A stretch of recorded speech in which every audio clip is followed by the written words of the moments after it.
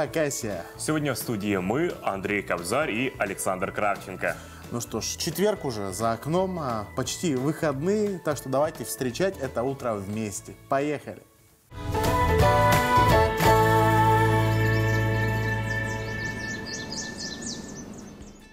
На календаре уже 25 ноября. И праздников не так много, но все-таки они есть. Вот, например, в США сегодня отмечают День Благодарения.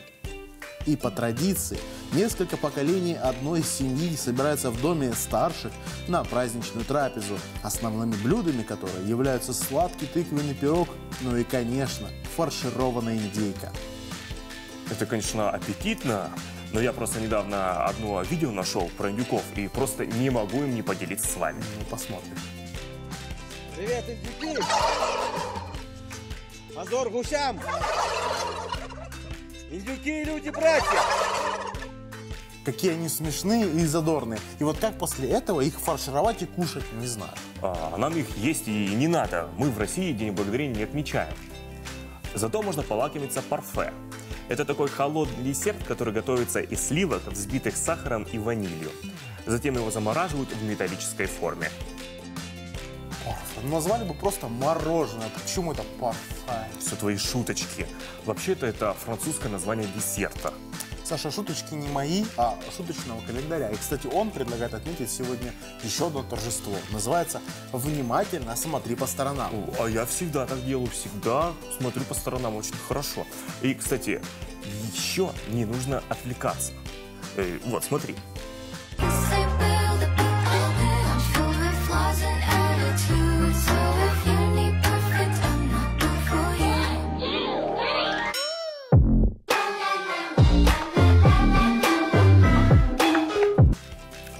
Так же было, кстати. А, и с тех пор я знаю, что на занятиях нужно быть вдвойне внимательным. А иначе придется отмечать праздник День расплывных лиц.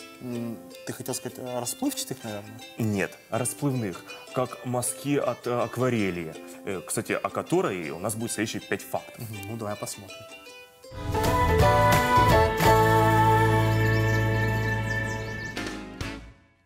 Впервые акварель появилась в Китае сразу после изобретения бумаги, а спустя какое-то время обрела популярность в Японии. В переводе с французского слова этот термин означает «водянистая». Это такой вид красок, в которых растворителем является вода, в результате чего получаются легкие и полупрозрачные картины. Рисовали и не только на бумаге, но и на шелке, дереве и других материалах. В Европе она появилась намного позже, лишь в 13 веке, но уже к 16-му акварельная живопись стала такой же популярной, как и масляная. В конце 18 века эта краска получает распространение в Англии. Правда, первоначально это происходило среди любителей, а не профессиональных художников. В это же время популярность в обществе приобрела портретная миниатюра. Однако вскоре в Англии появляется целая плеяда профессиональных художников-акварелистов, а в 1804 году было основано их общество. В Российской империи подобное появилось в 1887 году, но после революции его деятельность прекратилась, несмотря на то, что в советский период интерес художников к этой краске никогда не угасал. Возрождение произошло в 1998 году, когда появилось общество акварелистов Санкт-Петербурга. В настоящее время действует школа и академия акварели Сергея Андреяки. Современные художники, работающие в этой технике, используют не только классические краски и кисти, но и появившиеся акварельные карандаши, восковые мелки для проработки отдельных элементов и фрагментов картины. Эффект акварельных красок используется и в тату-индустрии. Это направление открыла мастер из Нью-Йорка. Татуировки в таком стиле получаются нежными и легкими, и их нанесение не такое болезненное. Но, как и в случае с акварельными картинами, со временем они выгорают и становятся бледными. Поэтому такой рисунок хоть и выглядит красиво, но продержится недолго. Хотя это плюс для тех, кто любит эксперименты.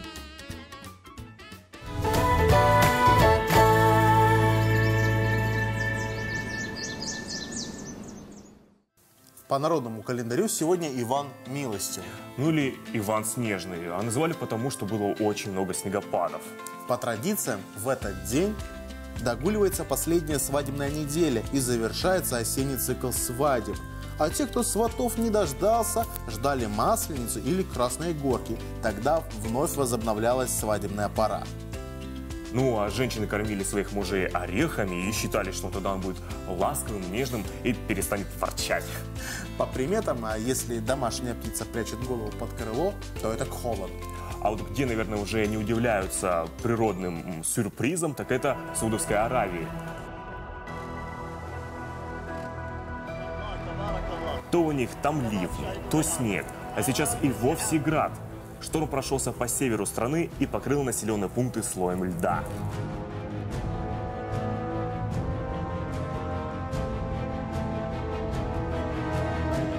Температура воздуха понизилась до плюс 7 градусов Цельсия, что для пустынного региона весьма непривычно. А рядом с границей Иордании после таяния града образовались стремительные потоки воды, и в ее плен попало сразу несколько автомобилей. Вернемся из Саудовской Аравии к нам в Хакасию и узнаем, какая у нас сегодня будет погода. Прогноз погоды в эфире «Утро Хакасии». Черногорский Устье-Бакане значительная облачность. Светлое время суток минус 1, ночью минус 2, южный ветер. Ожидается снег в первой половине дня. Сорский минус 1 днем, ночью до минус 2. Облачно с прояснениями, порывистый ветер юго-западного направления. В Бее и Сайногорске небо тоже затянуто облаками. Светлый период 0, после полуночи минус 3. Утренний туман, возможен снегопад. В Белом Яре пасмурно, днем плюс 1, после заката минус 3, юго-западный ветер. В Аскизе днем плюс один, ночью столбики термометров опустятся около нуля. Значительная облачность. Утро будет туманным и снежным. В Ташсипе и Абазе ситуация схожая, но градус будет ниже. Светлое время суток плюс 2, ночью до минус 3. Шира пасмурно, температура днем минус 2, после полуночи также минус 2. В Баграде и Копьево облака присутствуют, а утром возможен снег, днем минус 1, ночью до плюс 2. В Абакане пасмурно, днем минус 1, после заката минус 2, утром ожидается снегопад. Южный ветер, атмосферное давление в норме. Близится Новый год, и нам, девушкам, уже стоит задуматься о нарядах. Об этом, как и в целом о моде, мы сегодня поговорим с заведующей кафедрой производственных технологий и техносферной безопасности Инженерно-технологического института ХГУ Анастасией Белоусовой. Анастасия, доброе утро. Доброе утро. Скажите, пожалуйста, как ваша кафедра связана с модой? А, Несмотря на то, что мы готовим не конкретно дизайнеров, а технологов легкой промышленности, инженеров легкой промышленности, конечно, каждое предприятие швейной промышленности, оно не может не знать модные тенденции, так как то, та продукция, которую они производят, будет нерентабельна на рынке. И поэтому наши студенты, естественно, всегда в тренде, всегда знают последние модные тенденции, как в текстильном дизайне, так и а, в общем в стилистике одежды. И в цветовой гамме, в колористике всегда стараемся быть э, в тренде и знать последние тенденции. Есть ли у нас в Сибири какие-то определенные тенденции, вот такие мода определенные, может быть, связанные с более зимней погодой, что-то с холодной? Конечно, все равно у нас мода, она а, идет а, с европейской части страны, э, в общем, с Европы. А, Может быть, она немножко отличается в связи с климатом, но вот в последнее время, а, так как это связано и с пандемией, а, ну, возможно, и с холодным временем года, сейчас в моде домашний стиль и этностиль. То есть можно увидеть о, у модных дизайнеров, например, такие изделия, как как будто бы это бабушкино одеяло из пэтчворка, Да, превращенное да, в какую-то верхнюю одежду. Ну и это сейчас как раз-таки актуально, да? Да, это актуально, и наши российские дизайнеры это позиционируют в последнее время. А, Это связано с коронавирусом по большей степени, что вот э, локдаун, сидим дома, там, ну и все в этом роде? Коронавирус а, внес большие изменения, конечно, в индустрию моды, как и в мировое сообщество. А, Мода поменялась очень сильно, так как люди на протяжении многого времени стали проводить в домашних условиях, на дистанционном обучении, на дистан- на дистанционной работе. а Больше в тренды стала входить домашняя одежда и а, спортивная удобная одежда.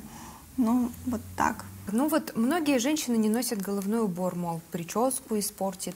А вот есть ли какие-то тенденции в этом году, может, какие-то определенные головные уборы новые появились у девушек? Вот что сейчас в трендах тоже? Среди головных уборов а, основные тренды это панамы.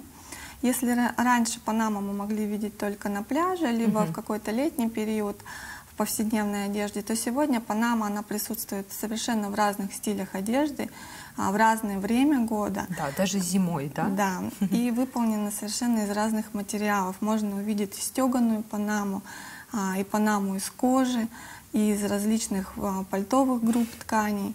Также в, а, моде сейчас, а, я бы сказала, даже новый вид а, головного убора — это косынка.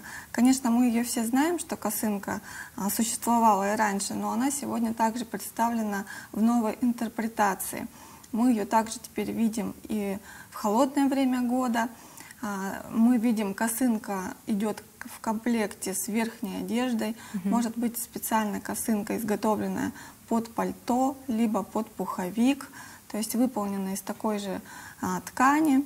Но м, удобство косынки заключается как раз в том, что она менее прилегает а, к голове, к прическе и является удобной в том случаях, если женщина хотела бы защитить голову от холода, но при этом не хотела бы испортить прическу.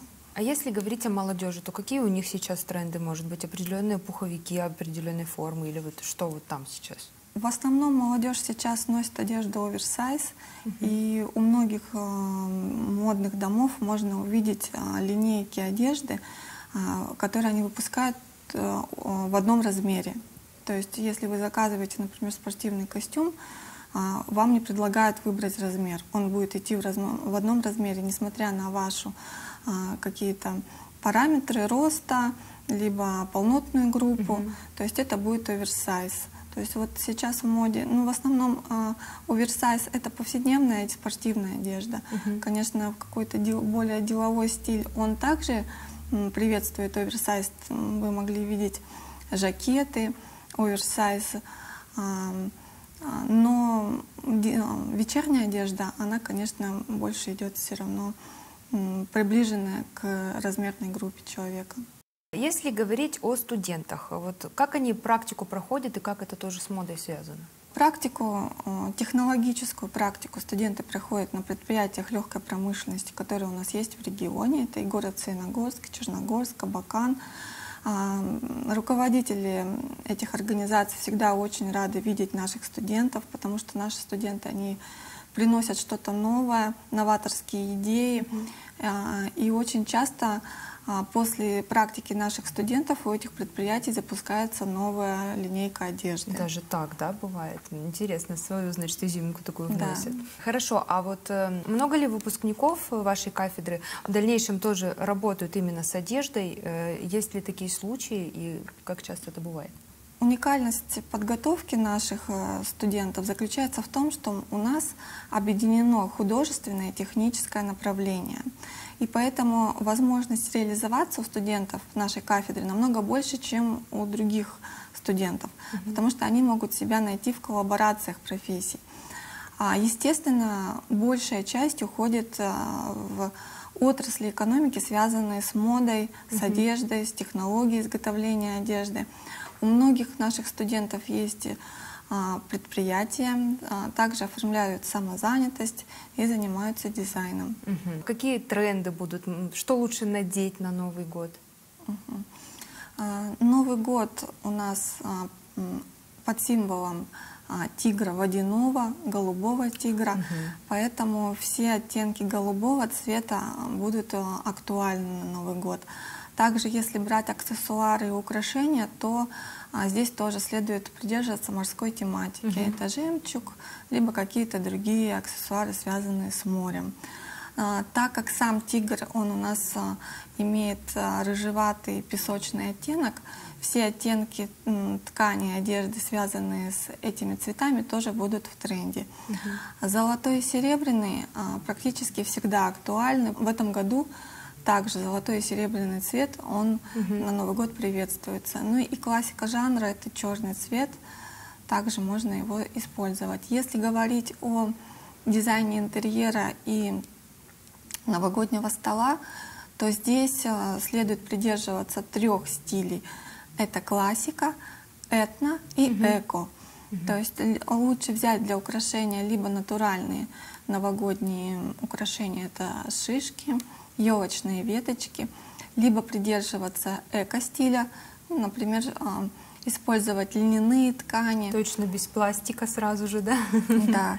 А, а, Тигр не приветствует открытого огня, поэтому не рекомендуется на этот Новый год ставить много свечей в интерьере и на новогоднем столе. Помимо этого, нежелательно использовать много мишуры. То есть Вот, кстати, о мишуре. А елку как лучше украсить? В каком-то однотонном, э, ну, как бы, цвете или как? А, Сейчас, да, очень много различных вариантов используется для украшения елки. Ну, но я все-таки рекомендую придерживаться классического стиля, либо а, эко-стиля. То есть это натура... приближенные игрушки из натуральных материалов. Либо это текстиль натуральный, это а, хлопок, лен, либо это натуральные материалы. То есть те же э, шишечки, Ну, а классику веточки. как понять? А классика это традиционные классические игрушки новогодние. Это стекло. а, Также желательно использовать не а, ультрамариновые цвета, чтобы это были классические спокойные оттенки, также приближенные к цветовой гамме, а, которая в одежде рекомендуется использовать, то есть это голубые оттенки, либо классическое золото и серебро. Ну и самое главное все-таки, вот мы говорили с вами про то, что сейчас в моде оверсайз, ну а в чем лучше встречать Новый год? Наверняка же лучше в каком-то платье, может конкретная модель даже лучше подойдет. Здесь конкретных модных тенденций нет. То есть все-таки каждая женщина подбирает под свой стиль самостоятельно.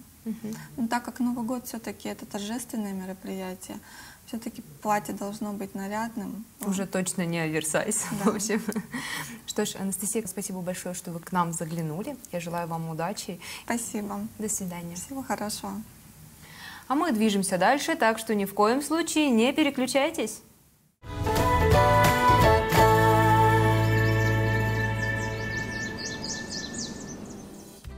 Ну что ж, начнем а, с легких новостей из США. Там за 30 долларов купили красивый а, рисунок под старину, так сказать. А, но вот экспертиза показала, что это не имитация, а вполне себе настоящий рисунок 16 века за авторством знаменитого Дюрера. И цена у него аж 50 миллионов долларов. Ого, вот это инвестиции. 30 долларов. Успешно. Вот бы тоже что-нибудь купить такое а, дешевое, но чтобы оно оказалось безумно старым и очень ценным. Но есть шанс, если ты купишь что-то очень старое, это окажется бесполезным. Нужно вкладываться в технологии, например, в систему умного дома.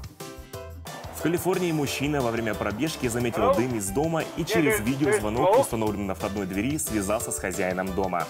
Узнав, в чем дело, владелец жилья дистанционно открыл дверь, чтобы мужчина спас домашних питомцев.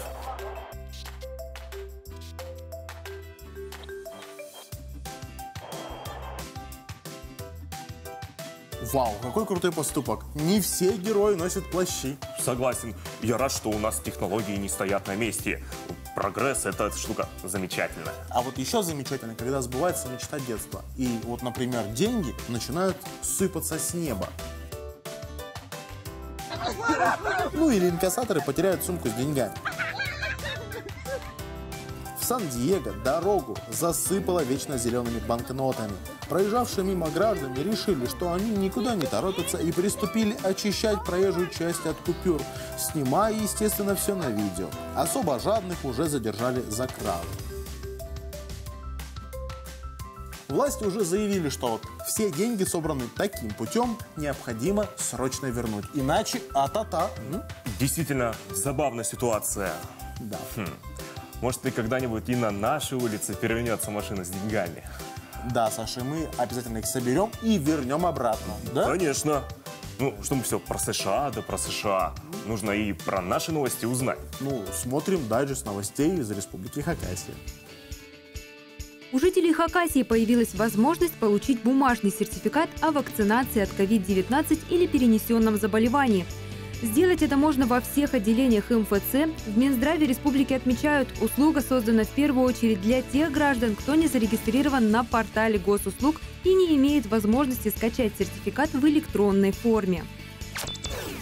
За полгода в черте города убрано 165 точек с мусором и отходами. По объему это солидный железнодорожный состав из 85 вагонов. В Абаканской администрации этот вопрос один из главных. Меры принимаются, к примеру, службы находят и засыпают заезды к стихийным свалкам. Но установить грязнуль не предоставляется возможным. Поэтому мэрия вынуждена применить всех средства – Фотоловушки постепенно распространяют по городу, а в 2022 году планируется закупить комплексы видеонаблюдения. Иного способа выявления и привлечения нарушителей к ответственности пока нет. Вчера республиканский аэропорт принял первый рейс из Екатеринбурга авиакомпании Red Wings. Маршрут Екатеринбург-Абакан-Екатеринбург планируют выполнять два раза в неделю по средам и пятницам. Так что до конца года стороны успеют совершить еще 12 рейсов. Полеты осуществляют ближнемагистральные лайнеры российского производства. Суперджет, рассчитанные почти на сотню пассажиров. Для региона этого должно хватить, считают в авиакомпании. Физкультурно-оздоровительный комплекс Черногорска, на который выделено 25 федеральных миллионов рублей, откроется ближе к весне. Так пояснили в дирекции стадиона «Шахтер». На территории этого спортобъекта и разместится новый комплекс. Сейчас все этапы строительства в стадии завершения. Здесь расположатся хоккейная коробка, спортивное ядро для занятий легкой атлетикой, площадки для уличных тренажеров и игровых видов спорта. Строительство ведется в рамках госпрограммы развития физической культуры и спорта.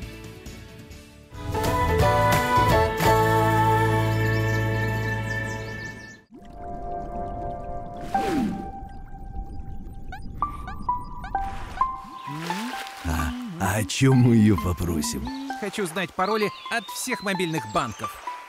А как ты их запомнишь? А пусть они все будут одинаковые. Один, два, три, четыре. Э-э.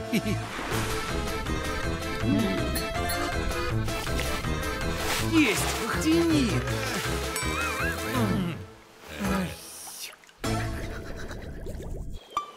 Если вы сами им не расскажете, никто не расскажет. Берегите ваши секретные данные от мошенников. Узнайте больше на fincult.info.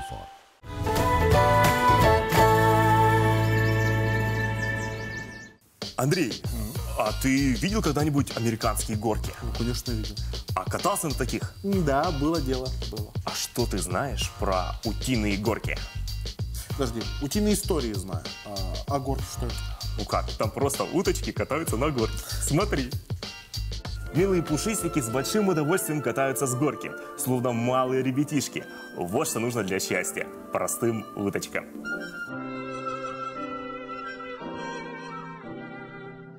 Да, смотреть одно удовольствие прям. Ага. Слушай, а ты знаешь, кто победил? Кто? Где? Когда? Ну, ну, слон против гуся или гусь против слона, неважно. Эм, э, не знаю, ну они же как бы в разных веселых категориях. Ну, я не знаю, что они там не поделили. Может, э, кровь у них э, горячая взыграла или шалость. Не знаю. Ну, а что я тебе объясняю? Просто посмотри.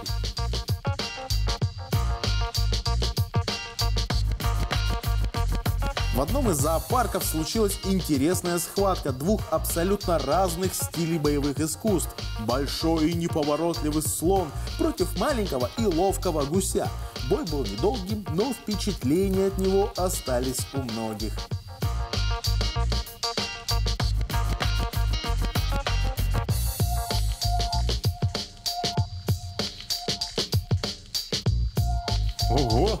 Вот это да.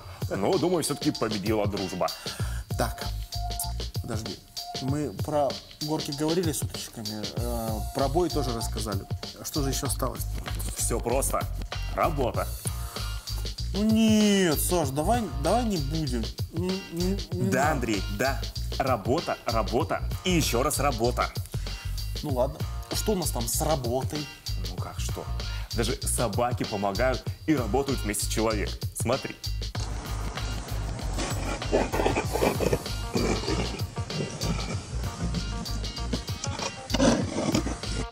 Вот верно говорят, что собака лучший друг человека. Она тебя не предаст и всегда будет с тобой до конца. И снег поможет убрать. Слушай, ты так говоришь, а, как будто ты гороскоп посмотрел. Не посмотрел, а прямо сейчас посмотрим в эфире астропрогноз. Смотрим.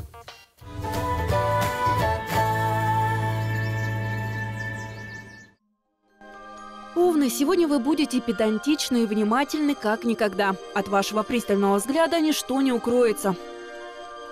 Тельцы, звезды советуют вам избавиться от чего-то старого и надоевшего, чтобы, согласно учению фэншуй, освободить в своей жизни место для нового. Близнецы, сегодня вы всячески будете пытаться доказать окружающим свою правоту. Будьте осторожны. Ваш боевой настрой грозит вылиться в крупные ссоры. Раки, начните день зарядки и контрастного душа. Это настроит вас на активный деловой лад и добавит уверенности в принятии решений.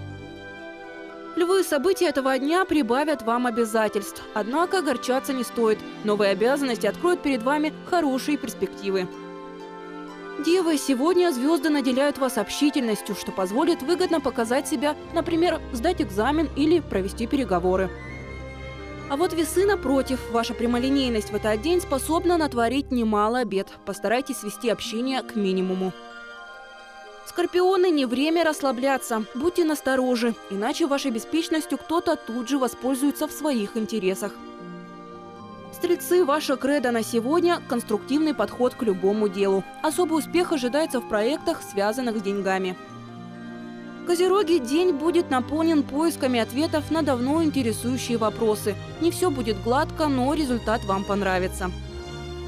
Водолеи, если вы чувствуете себя загнанным в тупик, не страшно. Сегодня хороший день, чтобы избавиться от иллюзий и найти правильный путь. Рыбы, сегодня ваш эмоциональный фон нестабилен, впрочем, как и всегда. Но это лишь поможет вам подстроиться под течение жизни и извлечь свою выгоду.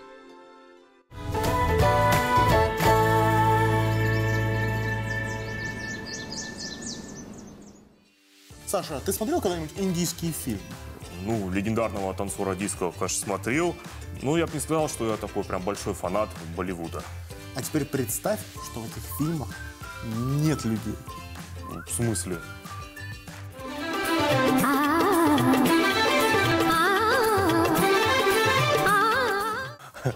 Ну, ну, утка шикарно отыграла. Да, согласен. Понравилось? Конечно. Ну тогда и наша рубрика по приколу, она наша очень горячо любимая, кстати, тебе тоже обязательно понравится, как и нашим телезрителям. Ну что, смотрим? Смотрим.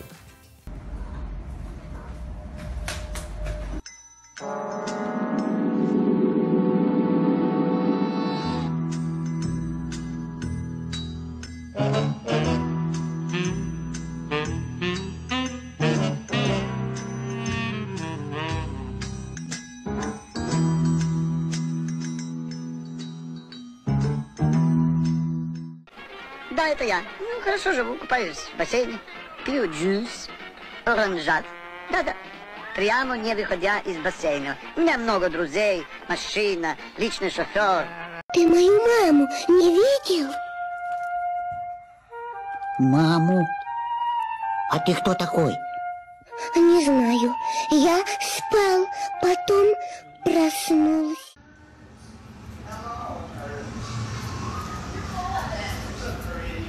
Free.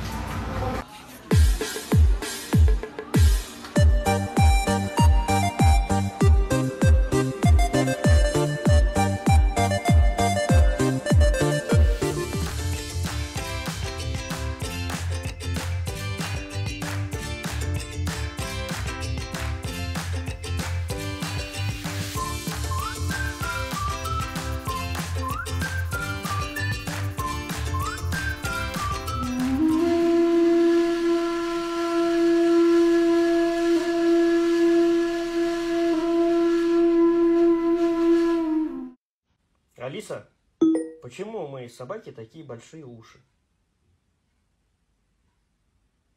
чтобы слышать, как ты без нее кушаешь. И этого никак не допускать. Вот так.